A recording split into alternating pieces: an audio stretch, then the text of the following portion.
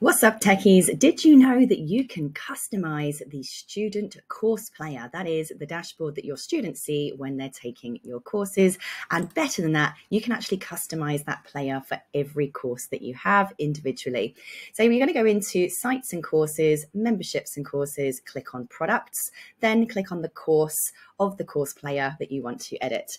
So once you're inside your course, you're going to click on customize, and this will take you to the area where you can actually customize that student course player, the dashboard that they're going to see. Now, at the moment at the time of filming this, there are three different layouts. There may be more by the time you're watching this. Um, and you can see here, this is basically um, a, an editable area that the student's going to be seeing when they log into your courses. You can actually just click on preview and I'm going to show you in this video just what each of them look like. Um, it's very, very easy to just apply them and get them live. This is what the first one called classic layout looks like. Obviously, you can change your fonts, the sizes, the colors, the buttons, you can change the backgrounds, you can change all of the menu, change your logos. This is the absolute plain skeleton, but it's more in terms of the layout that you're going to have. So your student will basically see, you know, start the course, take the course, enroll, you know, whatever wording you want to set it to. It shows how many of the lessons they've completed. Your instructor bio will show up here, um, and it shows all of the modules and lessons along the right hand side. So that's the first one. That's the classic layout. Next one we have is the New York layout. So I'm going to take you into the preview of this one, show you what that looks like to the student.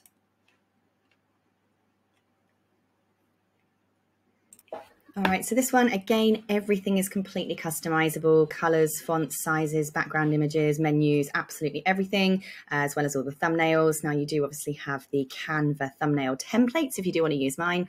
Uh, but this is obviously, as you can see, a slightly different layout. Um, you've got your lessons completed there and your lessons all show up in a grid like this. So uh, depending on how you want it laid out, and this one here flicks to the different modules. So I only have one module in this example course. If if I had multiple modules, I'd have to click the arrow here. Now, I personally find this one, uh, could be confusing for students because the fact you have to click through to get to the different modules. Um, some people may not realize they have to click through. So uh, this one isn't my personal favorite.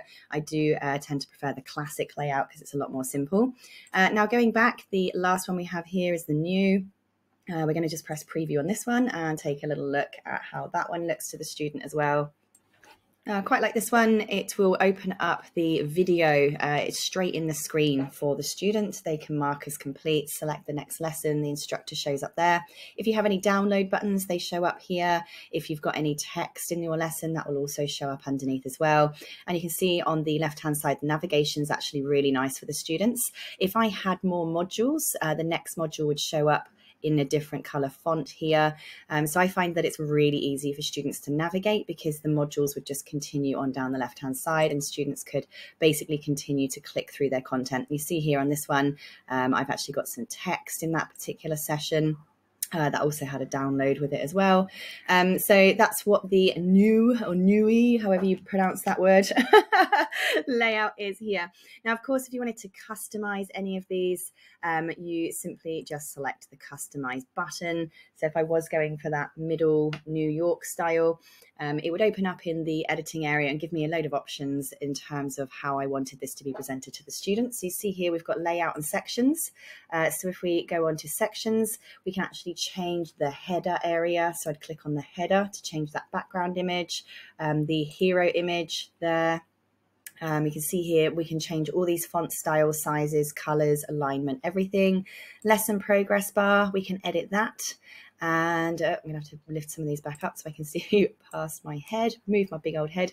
Uh, and then, of course, you can press save changes or reset it back if you're not happy with those particular functions. Uh, we can go to uh, layout here, click on theme settings. Again, make all of our different changes over here as well. So there's a lot of customization that you can do, uh, really make it look like your own. The students obviously wouldn't know that you're using TekMatix at all. So there you go. That's just a, a little brief overview of how you can customize the course player. And as I said, you can do that per product. So you can even use all of these different themes, uh, different ones for different courses, depending on the target student that you think might be taking that course and how they prefer to engage with your content. Any questions? Email us on support at tekmatix.com.